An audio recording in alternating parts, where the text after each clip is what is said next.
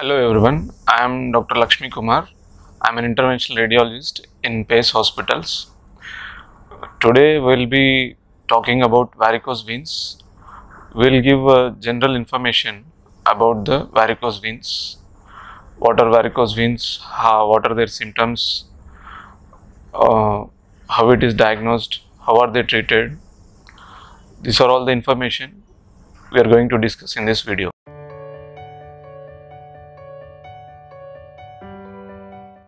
Veins are the tubular channels which bring blood back from the body to the heart. So, when these veins became swollen and uh, twisted, these are called varicose veins.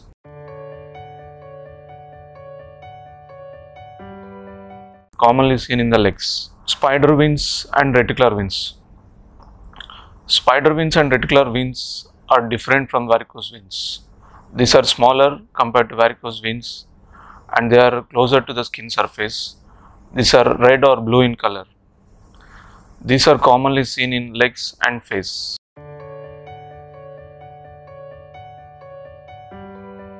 Blood from the legs is normally pushed slowly towards the heart by the calf muscle activity and this blood which is being pushed into in the veins this is prevented from sliding back downwards with the help of a cup shaped membranes called valves.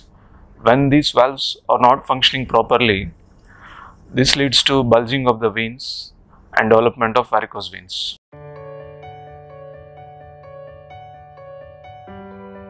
People with obesity prolonged sitting or uh, standing habits pregnancy prolonged usage of oral contraceptive pills or hormonal replacement therapy, old age, family history. So, these are all the predisposing factors for the development of varicose veins.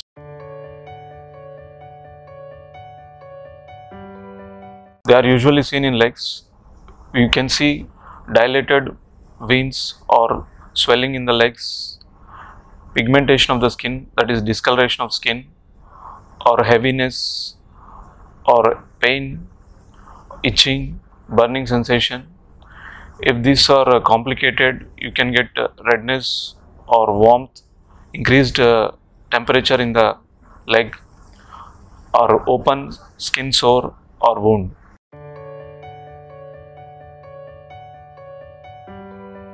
If the varicose veins are neglected, these can lead to some complications like bleeding from the veins, clotting inside the veins, infection of these veins. Infection of these veins leads to increased swelling at that site with uh, redness and increased temperature at the local site. Also, the clots formed in the varicose veins can migrate into the lungs, which is medically called as pulmonary embolism. This can be life threatening.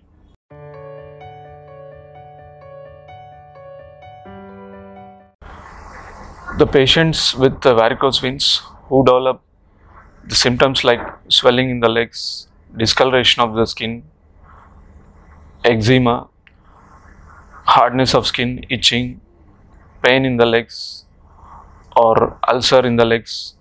These are all the patients who need treatment for the varicose veins.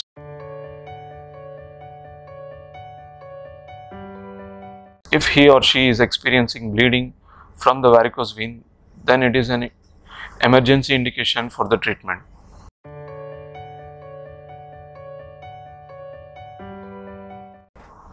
The patients with uh, ulcer or increased pain which is not relieving with conservative measures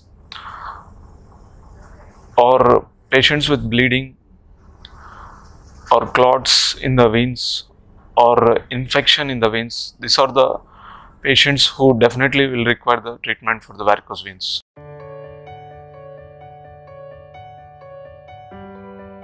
Varicose veins patients need a definitive treatment for the uh, effective relief of the symptoms and decrease in size of the veins. But some patients they are not fit for the definitive treatment. For those patients alone, we'll offer conservative measures like stockings, lifestyle changes, and some medicines.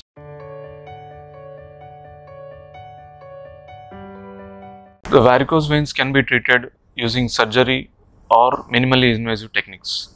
Surgery is ligating and stripping the affected veins.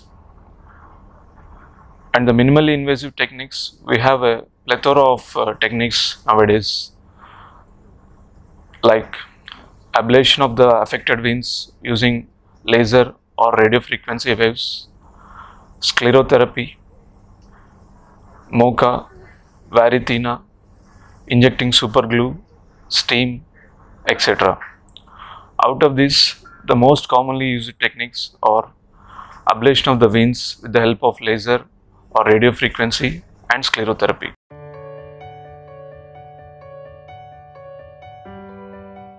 This is done by introducing a catheter which is a thin tube with the help of a needle into the affected vein. Then the heat is generated from this tube from this tube which helps in closure of the affected vein. When the affected vein is closed, the blood flow in the normal veins increases. This is how the ablation is done.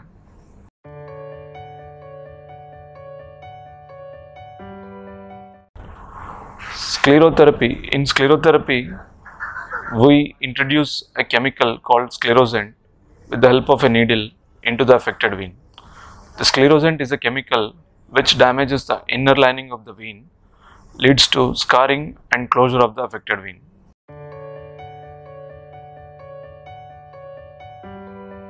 These are treated with the help of microsclerotherapy. In this, a very thin needle is introduced into the reticular or spider vein, followed by injection of a liquid sclerosant, which helps in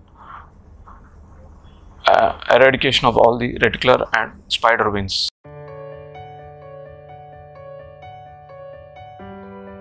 Worldwide, the minimally invasive techniques are performed by interventional radiologists and vascular surgeons for the treatment of varicose veins.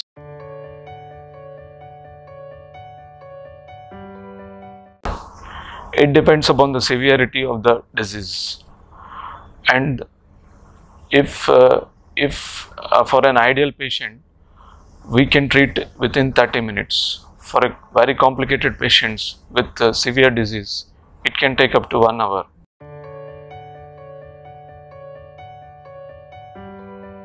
It is performed as a daycare procedure. For an ideal patient after the procedure we can discharge him in 2 hours but most of the patients we can discharge within one day.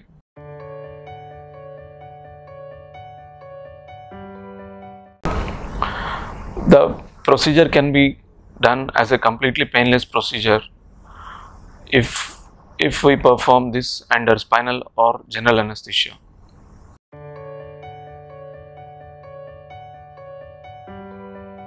Procedure can also be done under local anesthesia or nerve block which is little bit painful uh, which requires insertion of some needles. So this will be somewhat painful com compared to the spinal or general anesthesia.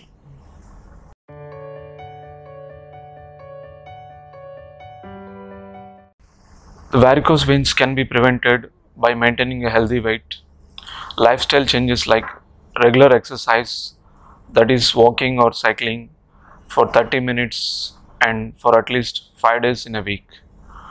Also avoiding smoking, avoiding prolonged sitting or standing, avoiding cross-legging, avoiding tight clothes and avoiding high heels.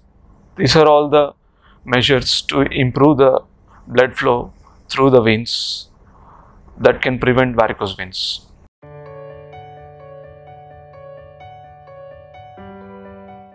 After varicose veins treatment, you will be prescribed compression stockings for a period of 2 months.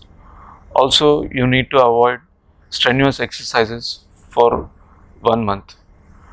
and we will advise lifestyle changes like avoiding prolonged sitting or standing, reduction of weight, and you will be given some medicines for a period of 5 days.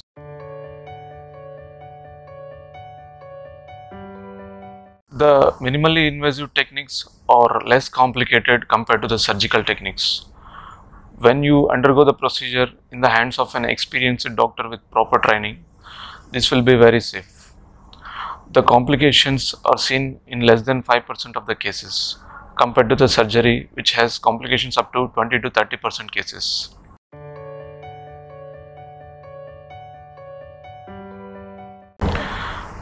The recurrence rate in minimally invasive techniques is significantly less that is 3 to 5 percent compared to the surgical techniques which have a recurrence rate of 40 to 50 percent.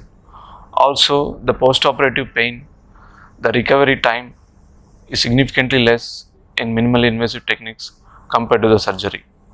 Also the complications and side effects are lower compared to the surgery.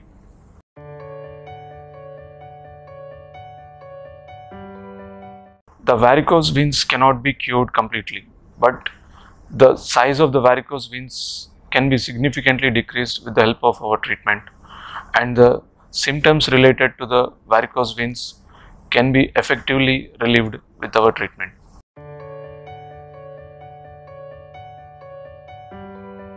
No, the varicose veins cannot be relieved on their own. It needs some kind of treatment, either conservative measures to prevent progression or a definitive treatment.